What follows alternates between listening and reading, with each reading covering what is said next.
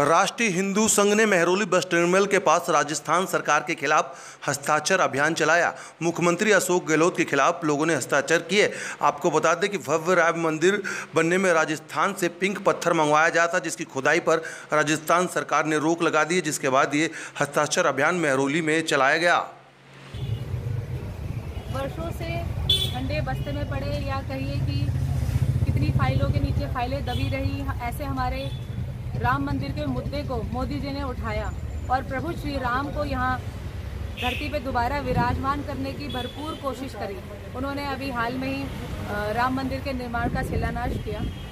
पर ये जो कांग्रेस, घटिया सोच वाली कांग्रेस है मंद बुद्धि वाले जो कांग्रेस है, उनकी सोच देखिए कि उन्होंने उस मंदिर निर्माण में जो पत्थर लगना था, उसके खनन पे रोक लगा दी। ऐसी कांग्रेस सरकार का मैं पुरजोर विरोध करती हूँ और ऐसी कांग्रेस सरकार का नाश होना ही चाहिए। जो भगवान के विरोध में खड़ा है, जो हिंदू के विरोध में खड़ा है, उसका नाश निश्चित है।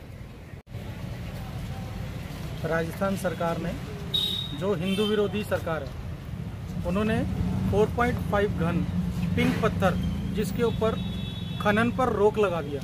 जो हमारे श्री प्रभु राम मंदिर में लगना था।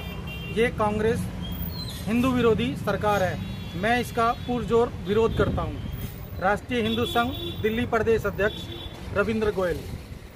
कांग्रेस की घटिया मानसिकता के कारण पूरे देश से कांग्रेस को भारत की जनता ने भगा दिया, हटा दिया। राजस्थान में वो झूठे वादों के साथ आई और उन्होंने श्री राम जी के भव्य मंदिर निर्माण में लगने वाले पत्थर पर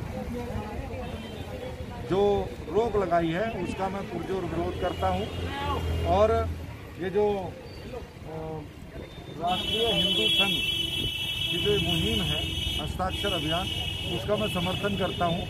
साथ ही साथ कांग्रेस की असलियत, सब जानते हैं कि ये श्री राम जी को काल्पनिक बनाने वाला हलफनामा कोर्ट में दे देते हैं।